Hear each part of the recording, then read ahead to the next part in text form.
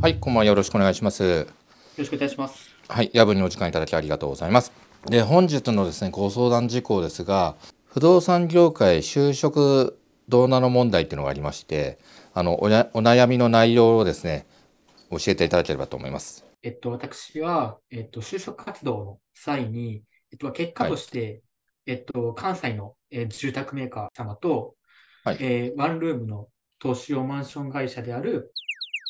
様の2社からはい。結果としてご内定をいただきました。はい。で、えーその際にあたって、やはり、あの、最初は、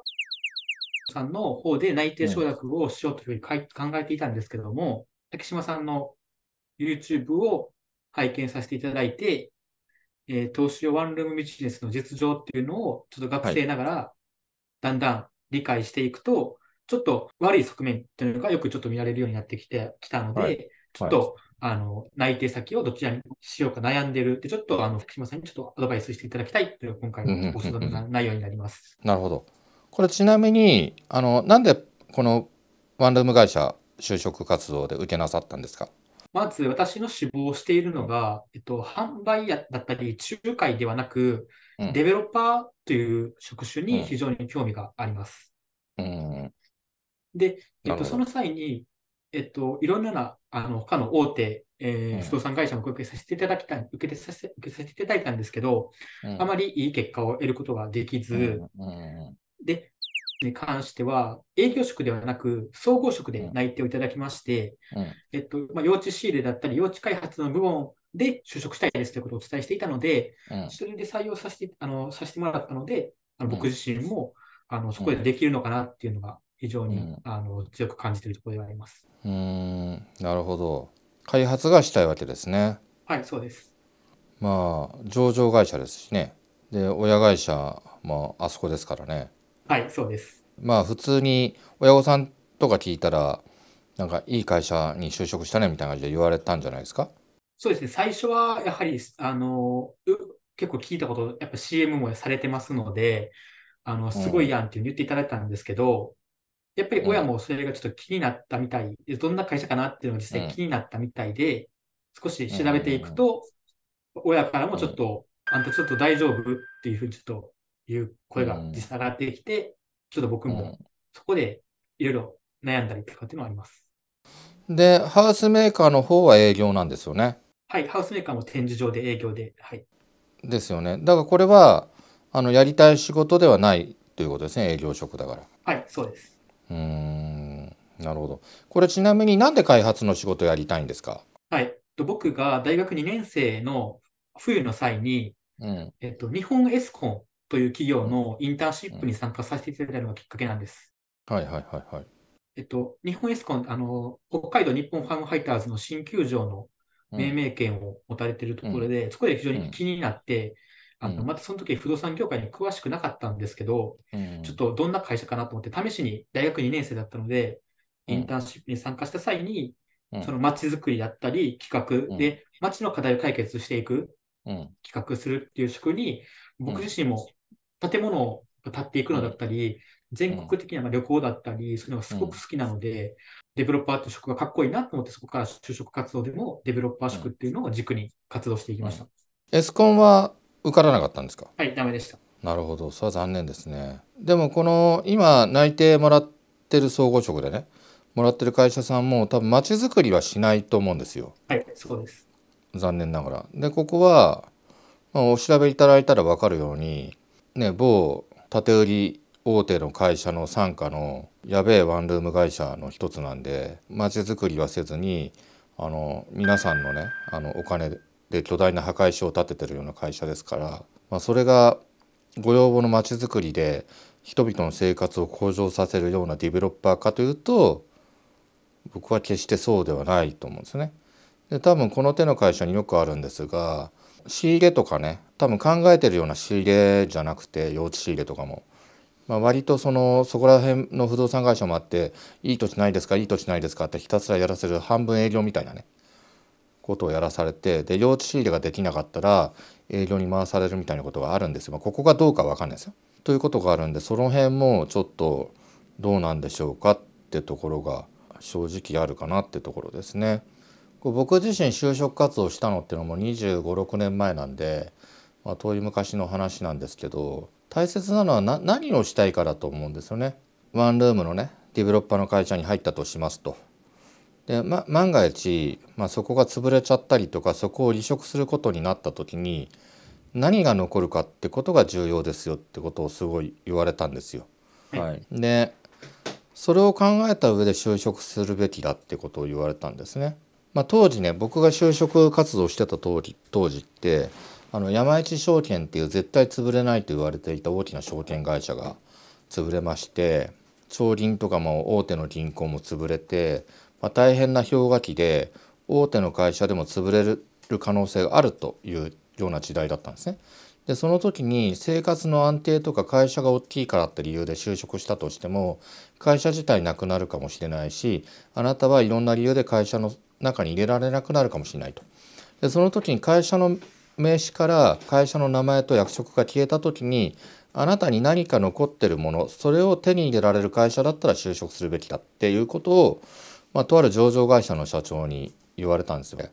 まあ、僕も僕は不動産会社にとにかく就職したかったんでいろんな不動産会社を受けたんですけど、まあ、とある会社の面接を受けた時に、まあ、そこは今でいうベンチャーみたいな会社だったんで何やってる会社かよく分からなかったんですね。でその合同説明会が終わった後みんなが帰ろうとしてるのがトコトコトコって僕だけですね司会のお姉さんのところ行って「すいません質問があります」と。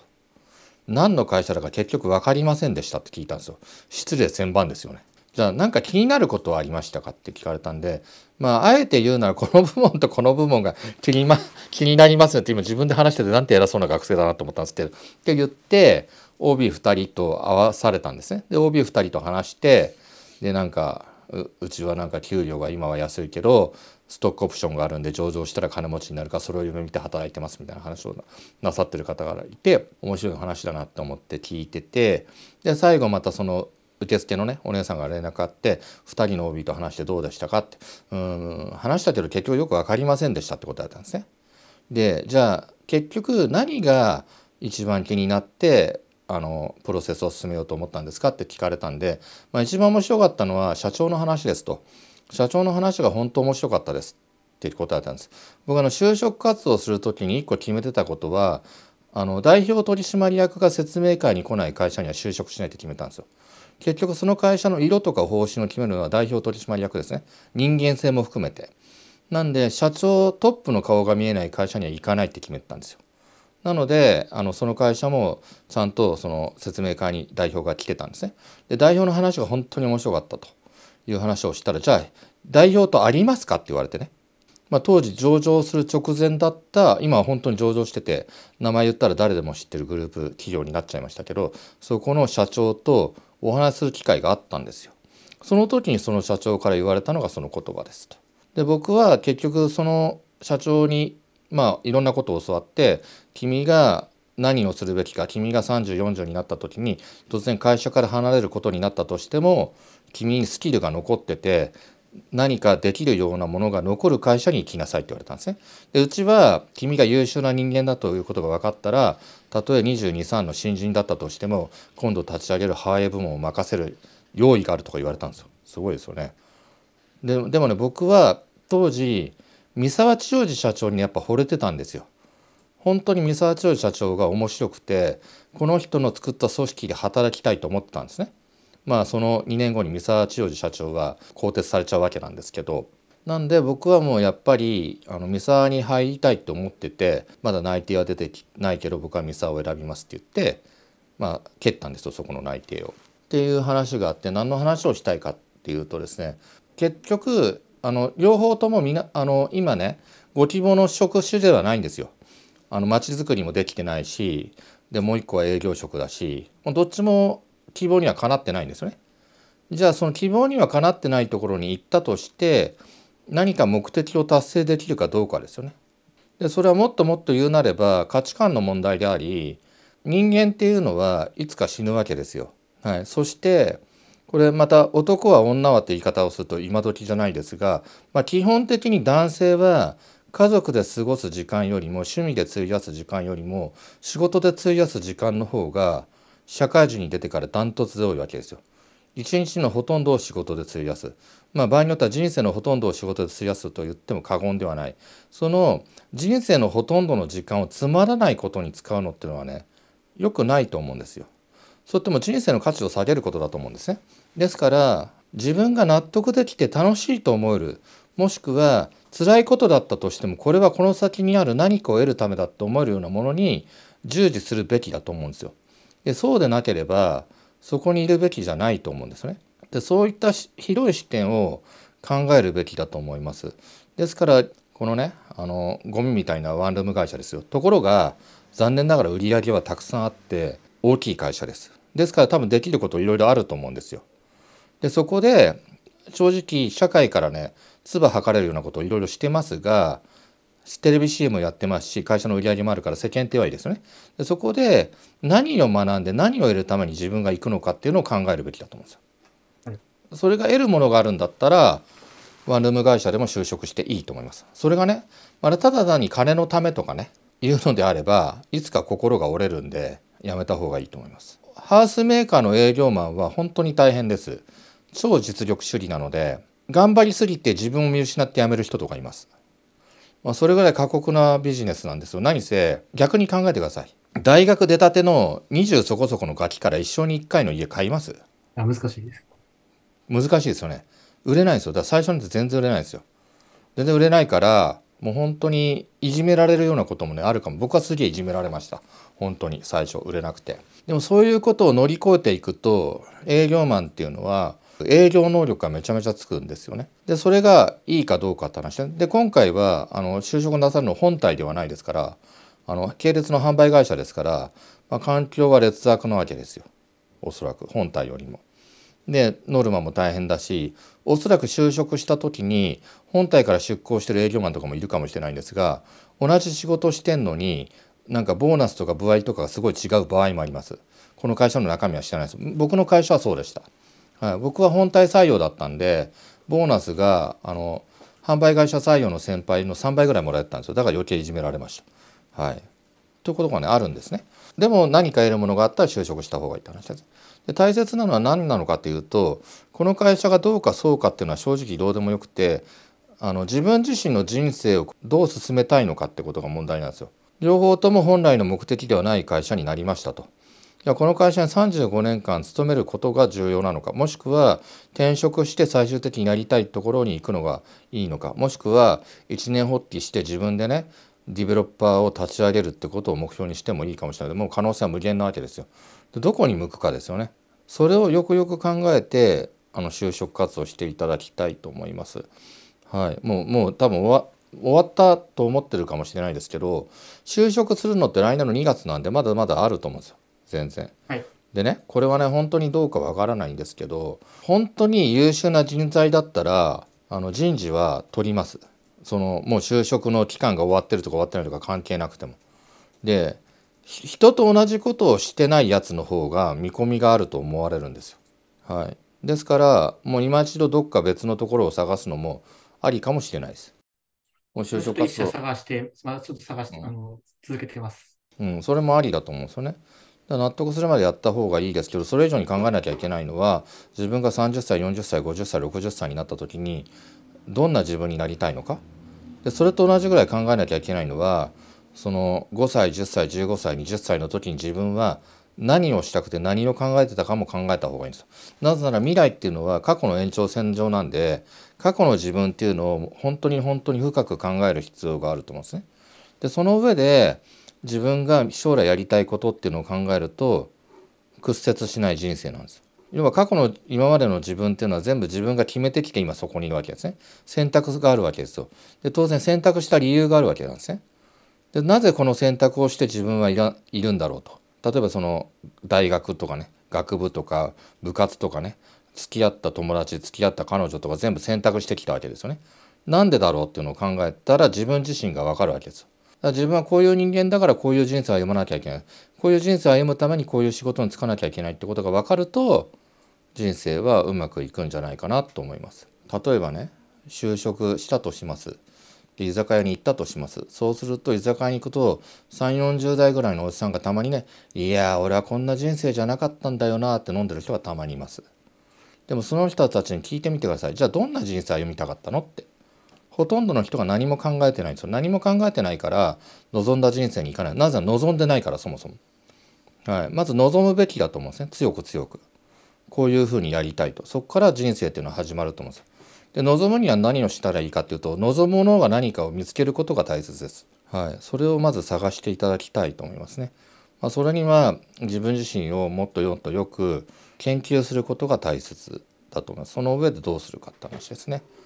で不動産業界っていうことをねもし選ばれるのであればこれはまあ今まで話したねちょっとメンタル的なね話とは別で単純に情報の話なんですけど僕が不動産業界を選んだ理由はただ一つ営業能力がつくからです。さっきも言いましたけど二十歳そこそこのクソガキから一生に一回の数千万円を買うっていうのは相当ですよね。相当なビハインドと向かい風の中売りつけることができたら相当な営業能力じゃないですか。だから死ぬほど辛いけど自分を磨けると思ったんですよ。でその状況の営業能力があれば他のものも売れるだろうと思ったんで不動産会社に行った。あともう一つは単純に故に給料が高いからです。メーカーってものがあった時にメーカーってやっぱ商品力が全てでメーカーの営業マンの力ってそこまで重要じゃないと思うんですよ。まあ僕はメーカーの人間じゃないんでねそんなことねえよっていう人もいるかもしれませんがでも不動産ってうちのようなゴミみたいなちっちゃい会社が財閥系の会社と営業で戦って勝てたりとかするわけですよ。営業能力と扱ってる情報と提案が上かどうかなんですね。でこれってすごい派手な商売だなと思ったんですね。面白い。なんで僕は不動産業界を選んだ。はい、ただ僕は仮にね自分は絶対にワンルーム販売会社にはきっと就職しないと思います。なぜなら結論から言うと自分がね売り上げ上げて歩合をもらったとしてもそれは誰かの血と涙なんですよ。誰かの人生を半分奪ってるんですね。やっぱり。だ僕は入らな。いでもそれを分かった上で何か得るものがあるなら入っていいと思います。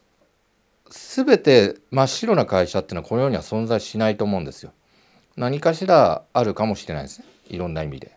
ネガティブなことがでもやっぱそれを踏まえた上でどうするかってことを考えられた方がいいと思います。やっぱり最初僕もやっぱりそのマンションメーカーの方が転職する際にやっぱりそのデベロッパーとしてやっぱりこういう経験をしましたって伝えることができるので、強いかなっていうふうに思ってたんですけど、やっぱりちょっと脳裏に、その、竹島さんの YouTube を見た、見て感じるような、ちょっと、あの、実際こんな人が世間にいるんだっていう負の感情がどうしてもやっぱり頭の中にちらついて、で、ちょっとそれで、あの、まあ、宅建試験とかもあったんですけど、ちょっとどうしてもやっぱりちょっと集中できずにずっとその経験談を聞いてしまうというか、で、そで、それがあって、どうしても相談したいってなって、ちょっと今回、あの、申し込みさせていただいたんですけど。ありがとうございます。あのね、本当大切な決断することなんですよ。例えば、その、この会社がね、本当にやばい会社で売り上げは高いけど、みんなの屍、若者の屍で成り立ってるね、巨大な墓石のような会社ですと、それを分かった上で、いろんな人を不幸にしても自分が高めに上がるために致し方ないと。でなんか漫画のヒーローみたく本当に本当に悪いことをしたけどそれは後により良い何かをするために仕方ないことだと。思えるならいいんじゃないですか。はい、迷ってんならやめた方がいいし、はい、毒を食らわば皿までで何もかも織り込み済みでできるかどうかですよね。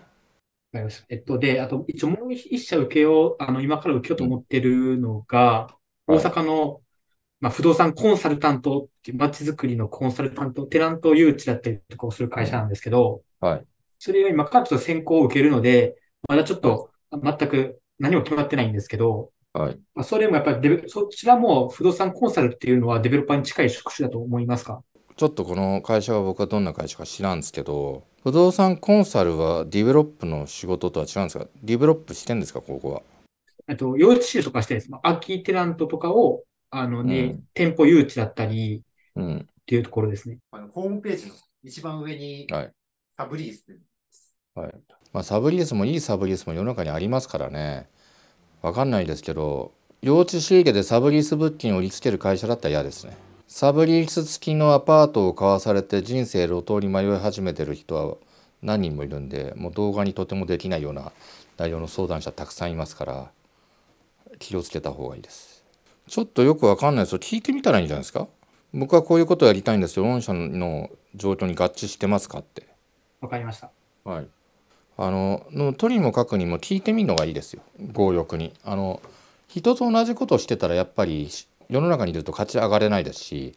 人と同じことをぼーっとしてる人間は採用されないです。ももう人と違うことをした方がいいです。あの思い立ったらすぐ行動した方がいいですよ。あと、日本エスコンも、あの、結構、あの、将来的に僕日本エスコンで働きたいなっていうのはすごくあって、日本エスコあ日本エスコ日本エスコはいい会社ですよ本当に。僕もそう思いはいはいはい。もう一回行ってみたらどうですか？どうしても就職したいですって言って。給料ゼロでいいんで就職させてさせてくださいって。僕、その一回面接で、第一一次面接、あの、一次選考で落ちてしまって、うん。その時もう一回、その、どうしても入りたいので、選考受けさせてもらえないですか？って言って、もう一回選考、一次選考を通って二次選考まで通ったんですよ。うんうんだけど二次選考の対面の面接で落ちてしまって、二回落とされるってことは、やっぱり縁がなかったのかなと思ってやめてしまって、もう一回行ってみたらどうですか？3度目の正直で。はい給料いりませんからは1年間雇ってくださいと。でダメだったら切ってくださいって言って。当たってくだけですよ本当に。シュートはね打たなきゃ入らないですから。もうご縁がなかったのは分かってますけど僕はどうしても入りたいんです。この欲望を抑えることはできませんって。本当に思ってるかどうかって人は分かる特に人事は分かります。何何千人って学生見てますから。人間の印象っていうのはもうにじみ出るものなので一朝一夕ではどうにもならないんですよね。それは経験であったり考え方なんですよ。で経験は早急には変えられないですけど考え方は変えられるんですね。はい、それはさっき言ったように自分のことをもっとよく知ることが大切なんですよ。で心の底から自分がこういう人間こういうことをしたい人間だって分かったそのためにこれが必要だって分かったら言霊が乗るんですね。言霊が乗った口から出た言葉は人の心を動かします。まずあの当たって砕ける前に今一度自分のことを考えてあのエエスコンに何で入りたいのかを本当にもっともっと掘り下げた方がいいと思うんですね。何か響くものがないから落とされたんですよ現段階では。表面上で言ってるなって思われちゃったんだと思うんですね。でもそれは多分正解なんですよ。もっと心の底からどうしてもっていう強い気持ちを感じられなかったんですよ。でもそれは作らないといけないし育てないといけないし何より見つけないといけないんでまず見つけてください。わかりました。ありがとうございます。はいありがとうございます。はいいえいえまあ、そんな感じで夜遅くまでありがとうございます。はい、いや、頑張ってくださいありがとうご。ざいます。はい、あはい。成功に乗っております。はい、悔いがない就職活動をしてください。はいちなみに、ネクタイは赤がいいです。はい。はい、わかりました。はい。ではでは、おやすみはい、ありなさい。がとうございます。はい、失礼いたしますありがとうございます。失礼いたします。ちちなみにななんでネクタイは？赤が赤ってパワーネクタイって言われてて、営業マンはできる営業マンは必ずネクタイ赤なんです。はい、だから僕はあの動画出る時は基本的に赤系のネクタイですね。これ赤じゃないですか。これちなみにねずこですけど。はい、なんか就職活動を目指している方プラスになったでしょうか。面白かったらいいね、拡散、チャンネル登録よろしくお願いします。これからも皆さんの利益のために頑張りたいと思います。